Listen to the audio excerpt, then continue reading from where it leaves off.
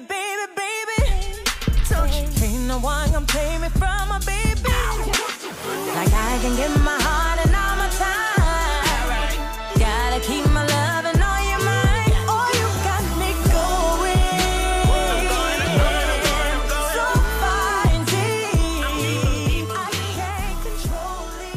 Um, comes out March 9th, y'all, on WGN America.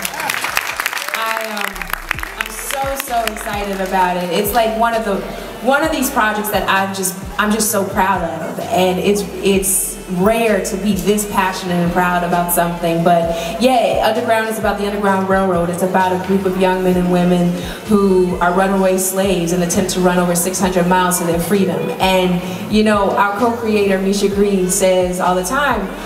We've never seen the story. We've never seen the story of the Underground Railroad, which was the first integrated civil rights movement in our nation. You know, we've seen the occupation, but now it's time for us to see the revolution. It's Yeah. time to see our people revolting, to see the ones who fought back, the ones who did run, the ones who picked it up and said, you know what, life is better, and I'm gonna take it. Yep.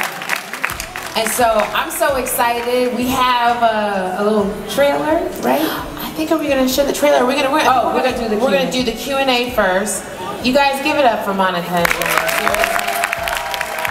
powerful black women that I definitely admire. Thank you for